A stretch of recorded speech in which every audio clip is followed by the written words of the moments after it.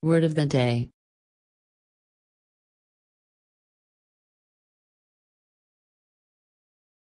Shunt, verb.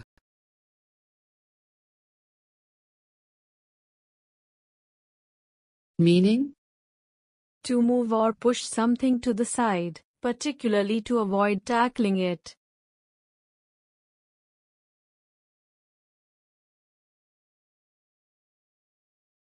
Example At its worst, Net Zero by 2050 is a device for shunting responsibility across both time and space.